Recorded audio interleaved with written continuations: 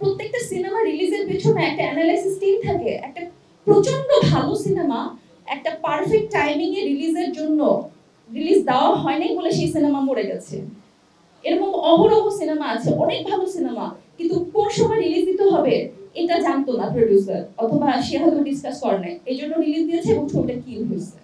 So এই পড়ার যখন রিলিজ হয়েছে, হাওয়া যখন রিলিজ হয়েছে, এই সিনেমার সুবাতাস যখন বলছে সে সময় আমরা যাচ্ছে একটা সিনেমা রিলিজ দিয়ে দিতে পারি না। আর যখন সেই সিনেমার বাজেট পঁচিশ লাখ টাকা। তো বিষয়টা হচ্ছে আমি কি ভুল বলতেছি? পরে বলবেন তো বিষয়টা হচ্ছে যে আমি আর রোশন আমি যেদিন পোস্টার রিলিজ পোস্টার উনি দিয়েছে তো তখন আমাকে একজন ছোট ভাই আমাদের সাংবাদিক উনি ফোন করেছে যে আমি অবশ্য জানি না, আমি পোস্টার দেখি নাই বিকজ ওনাকে আমি ফলো করি না। তো আমি যেহেতু জানি না, সেহেতু উনিশ তারিখে রিলিজ হচ্ছে এটা আমি জানতাম না। তখন উনি আমাকে ফোন করে বলছে যে, আপু, আপনার তো ছবি রিলিজ হচ্ছে।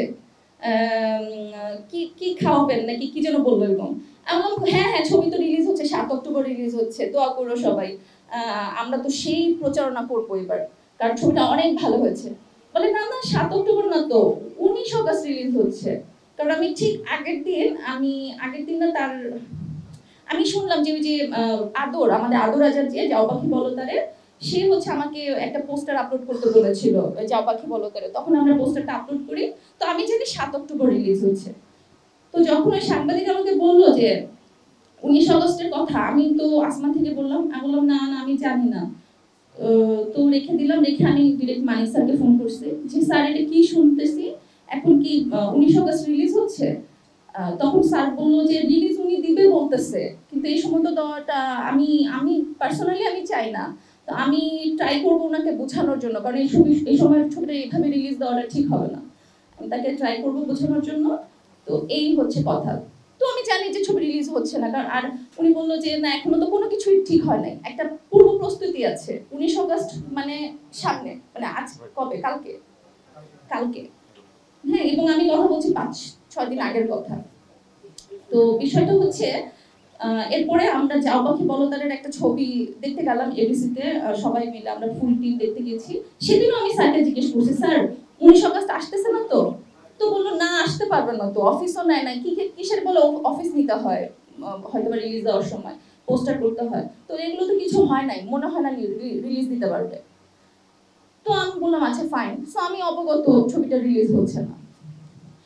তো হঠাৎ করে দেখলাম পরের দিনই উনি প্রেস মিট করলেন এবং প্রেস মিটও আমি জানি না।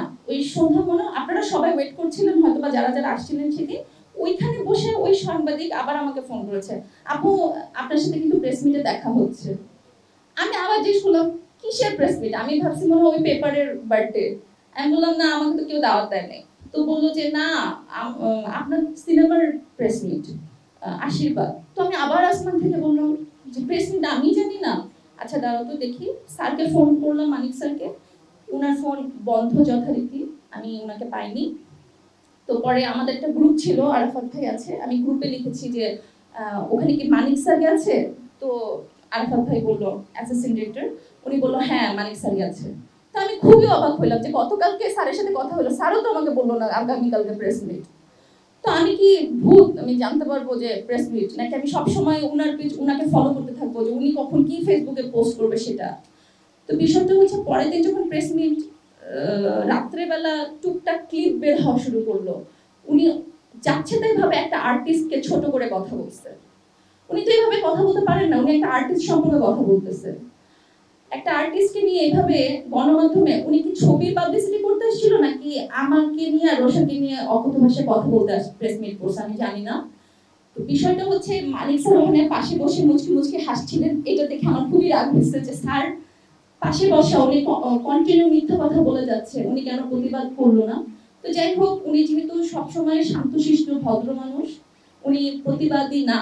সো আমার কাছে মনে হচ্ছে আচ্ছা ঠিক আছে দিন। কিন্তু যখন উনি মিথ্যা কথা বলতেছিল যে উনি বলেছিল যে, কি বলেছে? আমি পঁচিশ লিটার পানি দিয়ে গোসল করি। ওনার ছবিতে তো আমি আউটডোরে যাই নাই। অবশ্যই আমি পানি মানে মিনারেল ওয়াটার দিয়ে আউটডোরে গেলে গোসল করি। এটা আমার সবাই জানে এবং এটা নিয়ে আমার অনেক দুর্নাম আছে। কিন্তু অনেস্টলি স্পিকিং মানিক স্যারের শুটিং এ কোনোদিন তার মানে সে চুরি করে আমাকে পানি কিনে পাঠাইছে, এরকম হয়েছে। কারণ আমার কারণে তার কোনো টাকা খরচ হবে, এটা আমার কাছে কষ্ট লাগে। আমি নিজে পানি কিনে গোসল করছি। যখন ওনার রান্নার ছুটি করেছে, আনন্দ শুটিং করেছে, তখনকার কথা বলছি। এই আশীর্বাদে তো আমি কোনো অর্ডারই যাই নাই। উনি কি পানি কিনে আমার বাসায় পাঠিয়েছিল?